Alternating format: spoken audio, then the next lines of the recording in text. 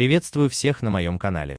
Завтра, 23 января в 17 часов 30 минут по московскому времени, на втором групповом раунде чемпионата Европы 2022 по гандболу среди мужчин пройдет встреча команд России и Польши. Кто выйдет победителем?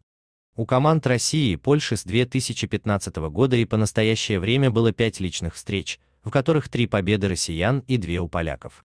Россиянам, чтобы выйти в плей-офф однозначно нужно будет выигрывать не только поляков, а еще и немцев, с которыми встретятся 25 января. Еще есть шанс набрать очки и выйти хотя бы на третью позицию в группе. Сейчас наша команда в группе занимает предпоследнее пятое место с двумя очками. И если наши гандболисты в первом групповом раунде трижды одержали победу и заняли первую позицию в группе, то во втором групповом раунде уже в двух поединках со шведами и испанцами потерпели поражение. Причем от испанцев очень обидное поражение. Разница всего в одно очко.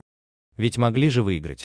Как обидно, в последних 10 играх России 7 раз выходила победителем. У поляков в первом раунде две победы и один проигрыш, во втором раунде уже два поражения. Они сейчас занимают последнюю позицию в группе, не имея ни одного очка. Поэтому последние две игры уже никак не отобразятся на выход в плей-офф, потому как третье место им просто физически никак не занять. Ну разве что побороться за престиж команды и страны. Из последних 10 игр поляки смогли осилить только 5 побед. Так что прогноз и исход игры практически уже всем ясен. Однозначно россияне должны побеждать. Об этом говорят и эксперты, и букмекеры. Единственное, что разрыв в счете будет небольшой. Поляки все равно будут бороться до последнего и будут стараться забрать победу.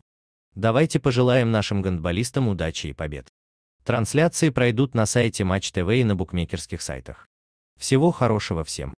До новых встреч!